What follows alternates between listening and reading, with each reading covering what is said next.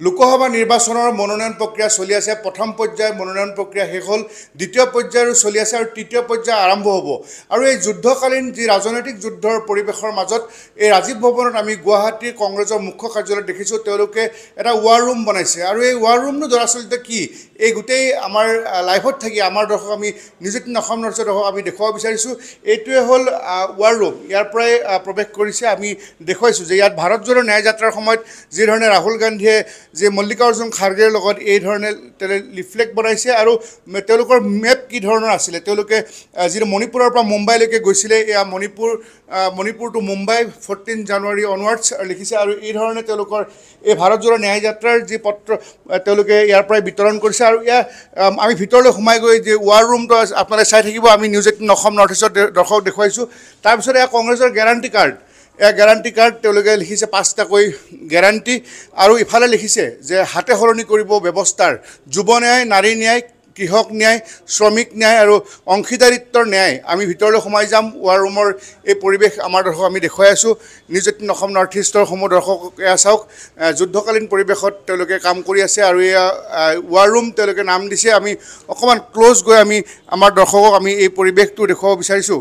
হয় আমি এনেধৰণে দেখিছোঁ যে এইসকল যুৱতী তেওঁলোকে হয়তো কেইটামান নিৰ্দিষ্ট কনষ্টিটুৱেঞ্চিৰ কাৰণে তেওঁলোকে কাম কৰি আছে আমি তেখেতসকলৰ লগতো কথা পাতিম। কিন্তু এই মুহূৰ্তত আমি নিজেই এই পৰিৱেশ দেখুৱাই আছোঁ। ৰাজীৱ ভৱনৰ ৱাৰ ৰুমৰ যি বৰ্তমান সময়ৰ যি ব্যস্ততা ইয়াৰ প্ৰধান বিৰোধী দল আৰু তেওঁলোকৰ ৰাজ্যত বা কেন্দ্ৰত তেওঁলোকৰ বিৰোধী দলৰ ভূমিকা বৰ্তমান পালন কৰি আছে।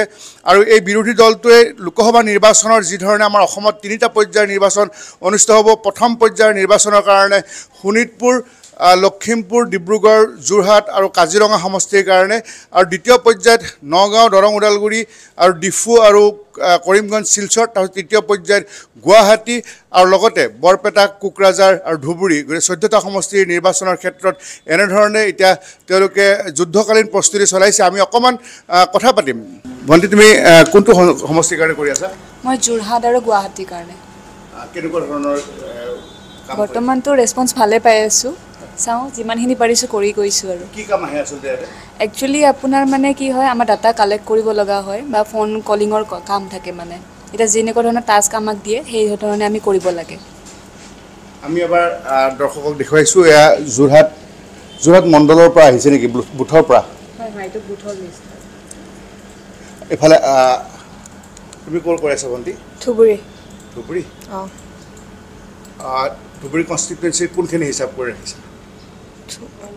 অল অভাৰ হয় তৃতীয় পৰ্যায়ত ধুবুৰী লোকসভা সমষ্টিৰ নিৰ্বাচন অনুষ্ঠিত হ'ব। গোটেইখিনি অভাৰঅল তেখেতসকলে কাম কৰি আছে বুলি জনাইছে আৰু আমি দেখুৱাইছোঁ যোৰহাট ধুবুৰী আৰু আৰু দুটা কম্পিউটাৰত ভণ্টি ইফালে কোন কোন কনষ্টিটুৱেঞ্চি মোৰ কাজিৰঙা আৰু লখিমপুৰ।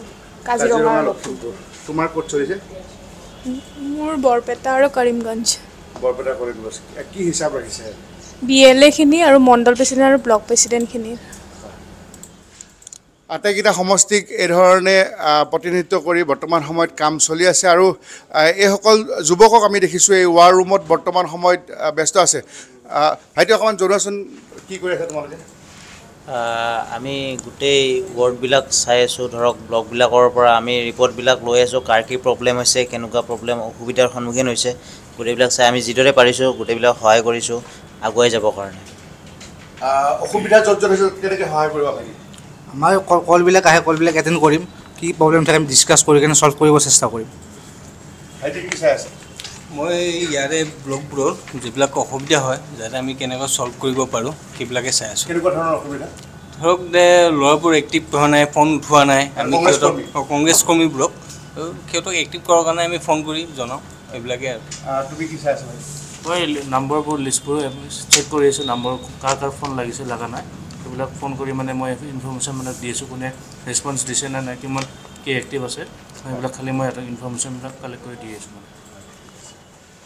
আমি এই মুহূৰ্তত এনেধৰণে আমি আটাইকেইজনৰ লগতে প্ৰায় কথা পাতিলোঁ। আকৌ এবাৰ কৈছোঁ যে প্ৰথম পৰ্যায়ত লোকসভা নিৰ্বাচন শোণিতপুৰৰ লগতে লখিমপুৰ আৰু ডিব্ৰুগড় যোৰহাট কাজিৰঙাৰ কাৰণে পাঁচটা লোকসভা সমষ্টিত নিৰ্বাচন অনুষ্ঠিত হ'ব। দ্বিতীয় পৰ্যায়ৰ কাৰণে দৰং ওদালগুৰি নগাঁও ডিফু আৰু কৰিমগঞ্জ শিলচৰত অনুষ্ঠিত হ'ব। তৃতীয় পৰ্যায়ত গুৱাহাটী কোকৰাঝাৰ ধুবুৰী আৰু বৰপেটাত গতিকে চৈধ্যটা লোকসভা সমষ্টিৰ কাৰণে এতিয়া যুদ্ধকালীন প্ৰস্তুতি চলিছে। শাসক বিৰোধী সকলোৱে মনোনয়ন প্ৰক্ৰিয়া দিয়াৰ কাম কৰি আছে।